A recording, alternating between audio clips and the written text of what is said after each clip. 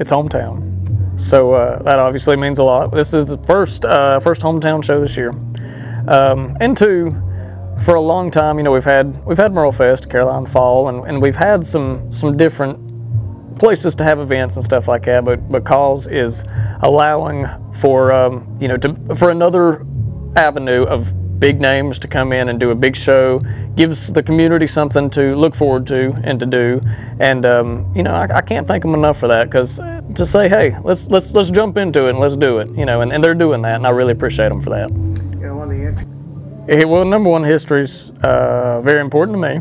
I'm big on family and things like that, and uh, I think it's always a blessing if you can preserve your family heritage and history, and and be able to look back.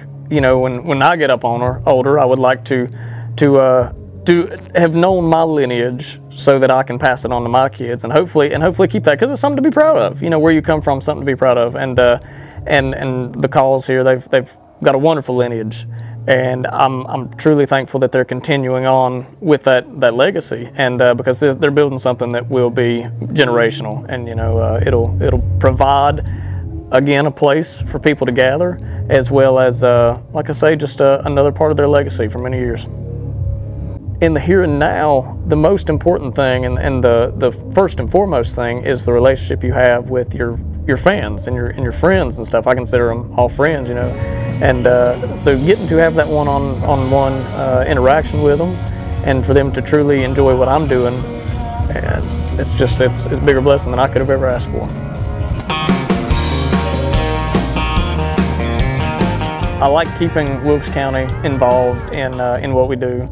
Uh, you know, we did the North Wilkesboro Speedway uh, video and song and everything. And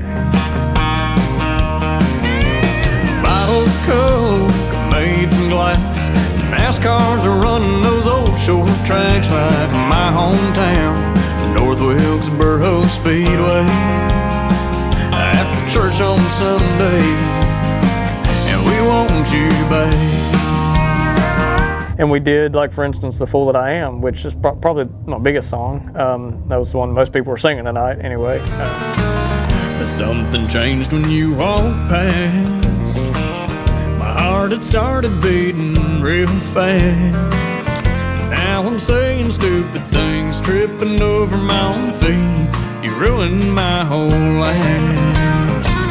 You got me acting like the fool that I am. You know, everywhere you go, when you leave out, you hope that it's going to go well, and you hope everybody treats you well, the venues and stuff, and and then the sound people. You know, you got your sound people too, and you hope it all always goes well.